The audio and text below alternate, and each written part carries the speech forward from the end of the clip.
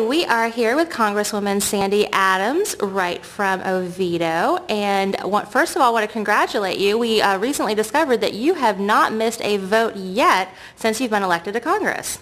That is true. We have made, I have made every vote on the floor of the chamber, and I hope to continue that pattern.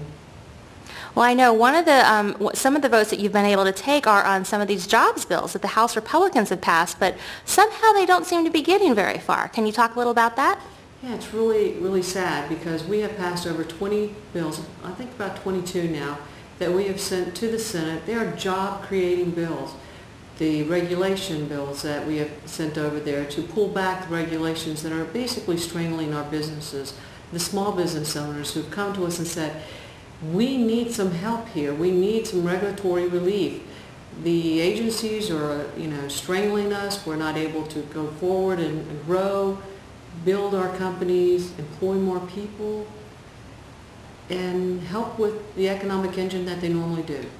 We have jobs bills sitting over in the Senate that have passed the House bipartisan, I might add, and they have yet to even be discussed. And that is simply just irresponsible and it's a shame. Has um, the Democratic leadership in the Senate even given any communication or indication or feedback on these bills at all? If they have, I haven't seen or heard it, and it's a shame. A lot of us, especially some of the freshmen, have gone over and asked Harry Reid to pull up some of these bills, have a discussion, have a debate. If you want to amend it, amend it. Send it back. At least have the discussion. The American people deserve that, and they're not having that discussion. Well, we have uh, two senators from Florida over there in the Senate. We've got Marco Rubio, we've got Bill Nelson. Um, have you uh, had a chance to talk with either one of them about this issue? Well, you know, it's interesting. I um, watched uh, during one of the many debates that we had over some of the uh, issues on the budget where Marco Rubio actually took to the floor of the Senate and he made a statement, and I, I can't quote him verbatim, but he basically said the House is working and the Senate is not.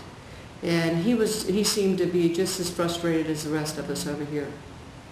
Okay, so you haven't seen any leadership at all from Bill Nelson on this? I have not heard him say anything about these bills, and that's a shame because they affect not only America but Florida. And Floridians deserve the discussion of these bills.